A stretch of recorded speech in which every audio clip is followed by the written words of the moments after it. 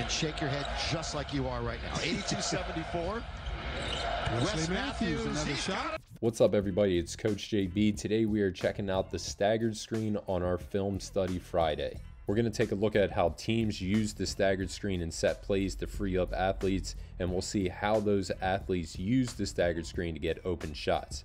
And then we're going to take a sneak peek inside of the Hoop Study Partner Shooting Academy and give you a drill so you can start working on shooting off of a staggered screen. But first up, let's define the staggered screen. The staggered screen is characterized by two screeners setting off ball screens for a cutter in a staggered formation.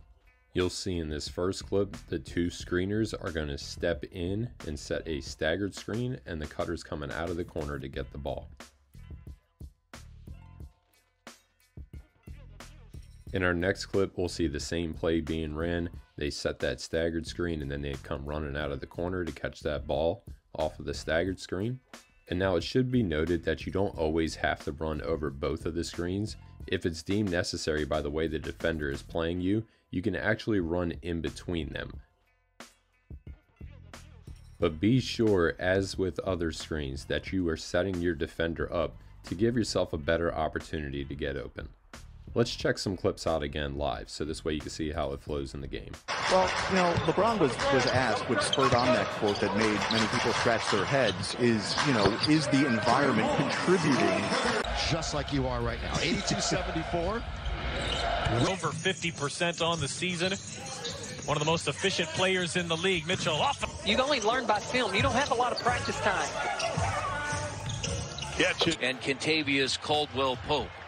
And James goes to work early, and that's. So, again, for the staggered screen, we're focusing on this athlete in the corner. He's going to set up his defender and come off of these two screens up to the top of the key so he can be open for a shot. Now, let's take a look at that drill we promised you from the Hoop Study Partner Shooting Academy.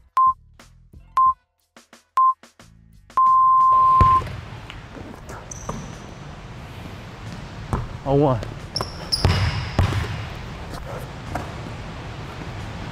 Two.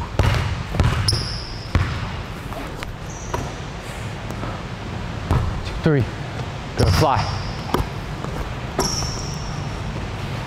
Four. Shot, boy.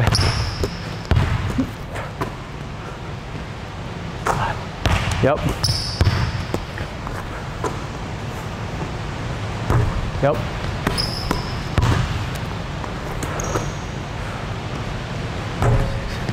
Saying it, saying it.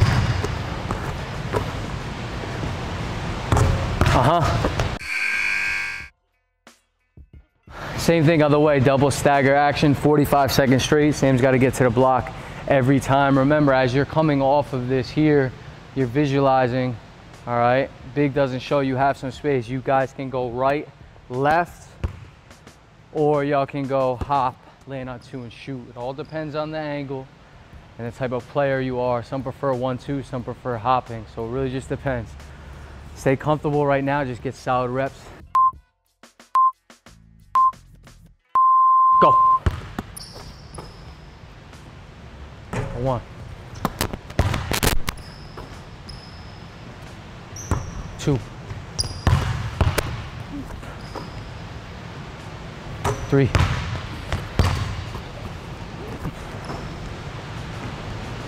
Three, four.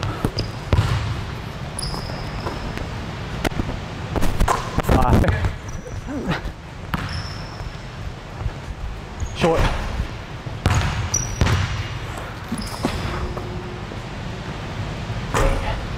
Come on, fly. Count it. So again, that is just one of many shooting drills that you're going to find inside of the Hoop Study Partner Shooting Academy. Now, I also mentioned that we were going to take a look at a set play. You can see that we have this man in the corner who's going to come off of this staggered screen running through the top, which is eventually going to lead to one of our screeners being open on the wing. And I love this because he can take this shot or he can drive. And when he decides to drive, it turns into basically a pick and roll, freeing up the second screener. Let's check it out again live. Illinois, Michigan, and Iowa all vying for a chance to get a national championship. Let's review. A staggered screen is characterized by two screeners setting off-ball screens for a cutter in a staggered formation. Just a reminder, try cutting between or over and under the staggered screens from time to time to help lose your defender.